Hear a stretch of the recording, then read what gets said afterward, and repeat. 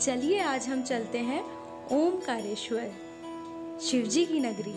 बारह ज्योतिर्लिंगों में से एक ज्योतिर्लिंग है ओमकारेश्वर। नर्मदा नदी के किनारे बसा हुआ है ये मंदिर।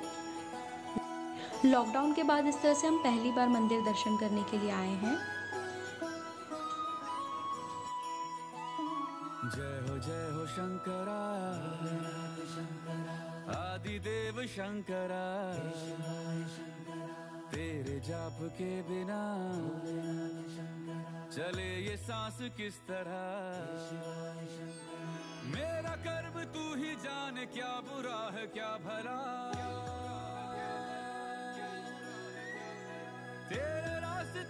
मंदिर में गर्भगृह से हमने भगवान जी के दर्शन किए, बहुत ही अच्छे तरीके से हमारे दर्शन हुए।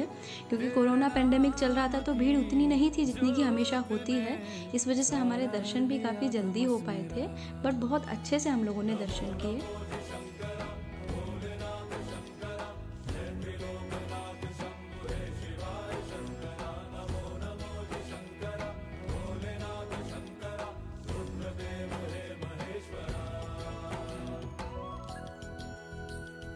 फिर अच्छे से दर्शन करने के बाद बाहर आते समय हमें नर्मदा जी का ये इतना सुंदर नज़ारा it was so peaceful so beautiful एकदम देखते ही बन रहा था। इतना शांत, इतना बहुत ही पायस सा ये नज़ारा था।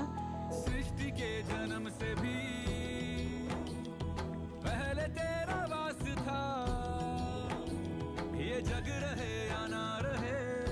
ओमकारेश्वर मंदिर दर्शन के बाद हम लोग ममलेश्वर महादेव दर्शन के लिए निकल पड़े, जो कि नर्मदा नदी के घाट के दूसरे किनारे पर था। वहाँ जाने के लिए हमने बोट सफारी करी। ऐसा माना जाता है कि ममलेश्वर महादेव के दर्शन के बिना ओमकारेश्वर महादेव के दर्शन अधूरे हैं तो हम भी निकल पड़े दर्शन करने के लिए।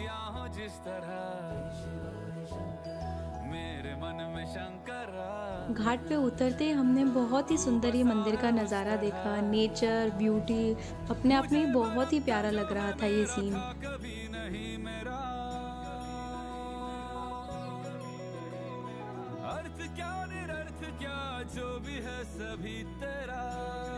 अब हम पहुँच गए ममलेश्वर महादेव मंदिर। हमने यहाँ पर बहुत ही अच्छे से दर्शन किए।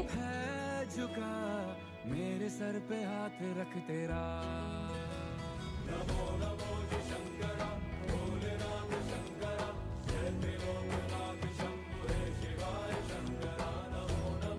और यहीं इसी प्रकार हमारे ओमकारेश्वर ज्योतिर्लिंग की यात्रा सफल हुई।